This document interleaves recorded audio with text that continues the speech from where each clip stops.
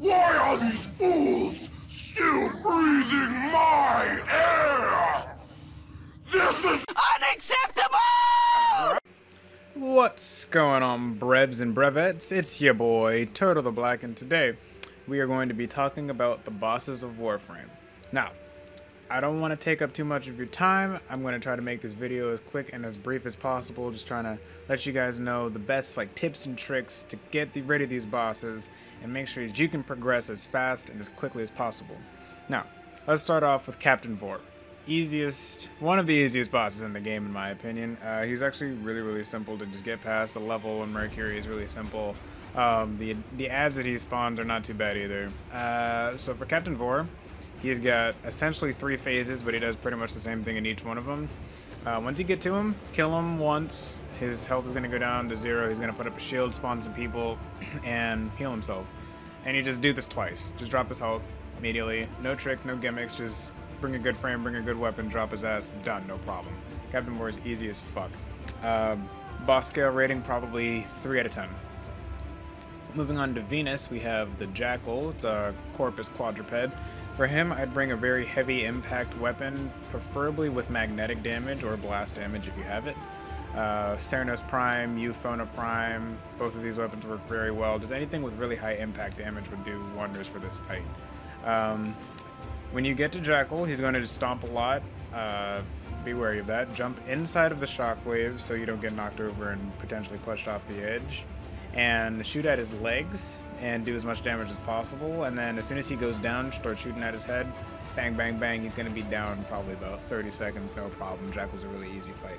If you don't have something with high impact on it, um, try getting the uh, mine ospreys. Try shooting them first and try to picking up the energy from them. It'll really help just kind of keep you on top of your game and just doing continuous damage to the jackal if you don't have a really high damaging weapon.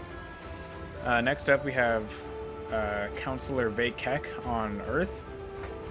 Uh, he is a bit of a pain in the ass because he floats around in his uh, first form. So a couple of different things you can do for this. To negate his magnetism, uh, you can use Nezha with Firewalker, which negates all status effects, or you can use Oberon's uh, Hallowed Ground, which pretty much does the same thing. Um, you could bring a Nova to slow him down, or you could bring a Loki. So if you use invisibility, he won't target you, so you can just use a good weapon, shoot him in the face. Or if you shoot at the glowing, uh, I guess, little spot on his back whenever he uses his uh, magnetic discharge thing. That's, there's a little area on his back that'll start glowing. If you shoot at that, it's a little bit easier a target to hit besides his face. You have to hit his face in order to get him to move into the next uh, phases of the fight. When he gets into the Terra frame, he's a lot easier, honestly. Um, just bring a weapon with good puncture and preferably corrosive damage for this fight, and he'll go down in a matter of seconds as soon as he gets into that terra frame. Next up, we have Lech Kril, and uh, Lech Kril is a bit tricky. Um, find him on Mars, and what you want to do is bring weapons that have different damage types, either like slash, puncture, impact, fire, uh, cold, toxin, electricity, radiation, corrosive, stuff like that. But make sure you have multiple types of damage. Uh, when you get to him, shoot into his little core on his back, a circle with some tubes, and eventually one of the tubes will break, and he will do an ice wave attack. You try to stay within melee range of him so he doesn't shoot at you with the Gorgon. Um, he'll do an ice wave attack, and then he'll freeze himself, and then you can do damage. As soon as he goes into his second phase, drop him. He's easy as shit as soon as he gets into that second phase. Next up, we have the Sergeant on Phobos, and he's not a boss. He's just not. He's not fight him, you'll see what I'm talking about. He's not a boss.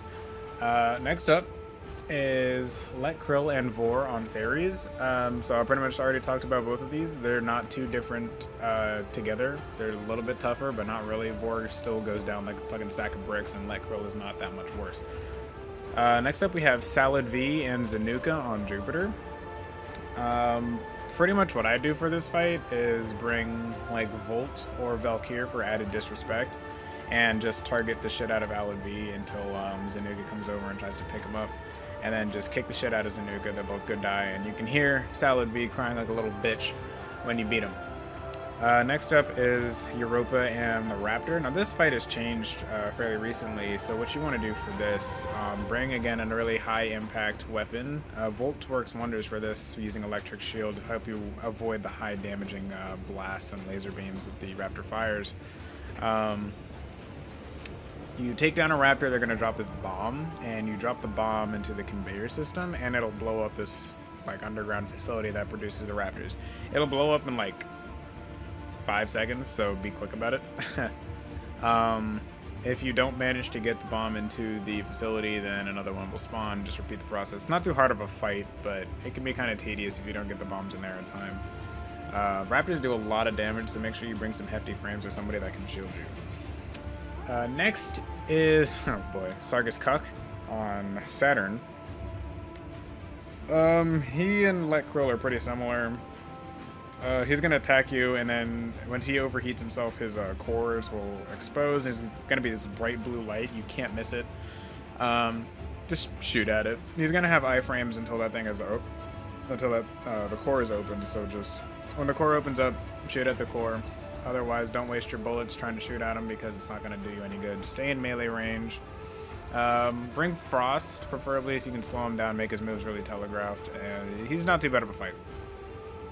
Uh, after that, we have one of my favorite bosses, Tyl Regor on Uranus. I bring Nova for this fight personally because when you use Molecular Prime, you slow him down considerably. There's less teleporting and stuff. Same goes for the Grineer Manics. It really just kind of makes the fight a lot more manageable. Uh, first thing I'm going to say is bring a high damage weapon, preferably Puncture. Second, stay out of the water. It's not worth it. Um, at the third phase, it gets electrified as well, so you don't want to be in that when that happens. Um, is not too bad of a fight either. Uh, the Manics can be a bit of a problem if you're not adequately prepared for them, and he can also do some serious damage. So a Nova is really useful because you can slow him down with Molecular Prime.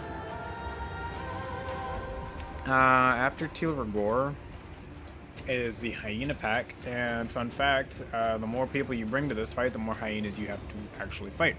So the easiest way to do this kind of is to try to do it on solo. You only have to deal with two of them, and hopefully you will have to deal with the one that drains all your energy just from being nearby it. It's a pain in the ass. I fucking hate this boss. But uh, there are some clever ways around it.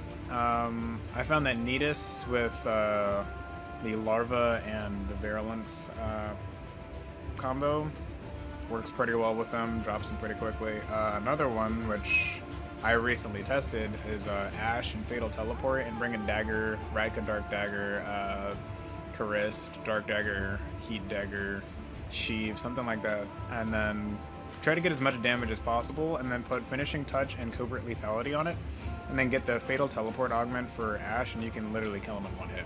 I've tested it, it works. Covert Lethality, Finishing Touch, Fatal Teleport, Ash, Ash Prime. It's fantastic, trust me.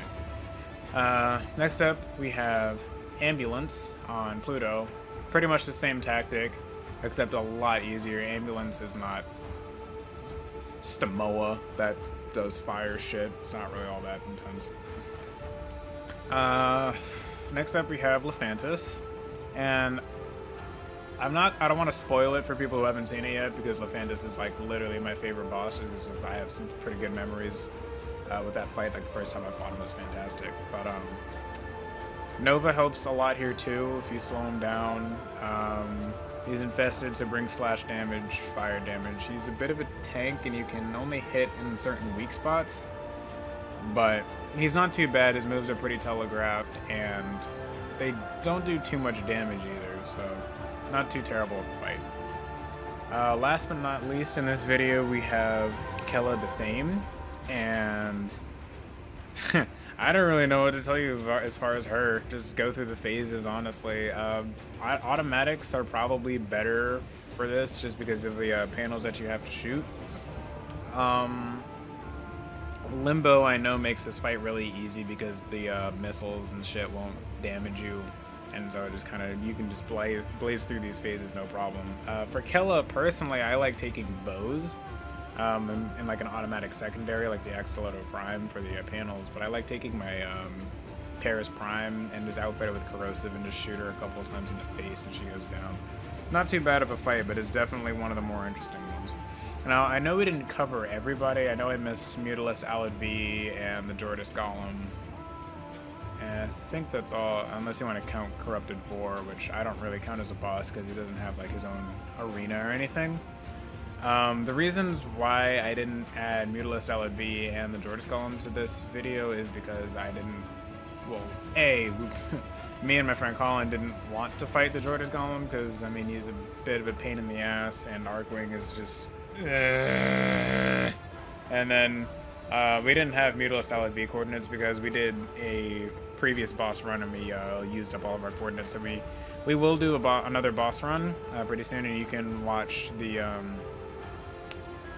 the boss run that we did for this video. Uh, I will be posting that right after this, so you can watch our uh, unedited, unfiltered, and unrated uh, run through of a majority of the bosses in Warframe. Um, but I do really enjoy the Mutalist Alad V fight. It's pretty interesting. It's pretty fun to watch uh, some of your teammates go down by your own hand. So, um, but for that fight, you can only kill Alad when you uh, when he takes off his collar and throws it at somebody else. Or, but if you bring Loki, trivial fight, not really a problem. As far as the Jordas Golem goes, um, I heard just kind of like from testing and listening from just word of mouth and whatnot, uh, the best two Archwings to take for this would be Itzel and Odonata slash Odonata Prime. Uh, Odonata can use Energy Shell, which gives you that little damage boost, and Itzel uses uh, Blink to traverse quickly and just kind of keep up with the Jordas Golem. Penumbra keeps you from taking damage because enemies won't target you. Cosmic Crush helps deal with ads, and the uh, fighter drones also help deal with ads as well as add a little bit extra damage. Um, but the Jordas Golem is just a it's, it's, a bullet sponge. It's a massive fucking flying bullet sponge, and it's such a tedious and annoying fight. So bring some good friends with arc wings for that one, because if you do it solo, you're gonna be there a while. But uh, other than that, that's really all I've got for you guys this week. Uh, stay tuned for the unfiltered and unrated and unedited Boss Wave video coming right after this.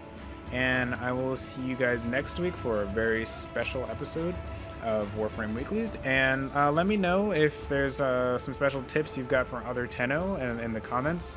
Uh, drop a like if you enjoyed this video. And um, yeah, just let me know if there's like something I missed, uh, some kind of interesting strategy you've got for fighting a certain boss, or something interesting about the boss, something funny to say, or just let me know if you enjoyed the video, and I will see you guys next week. Peace out.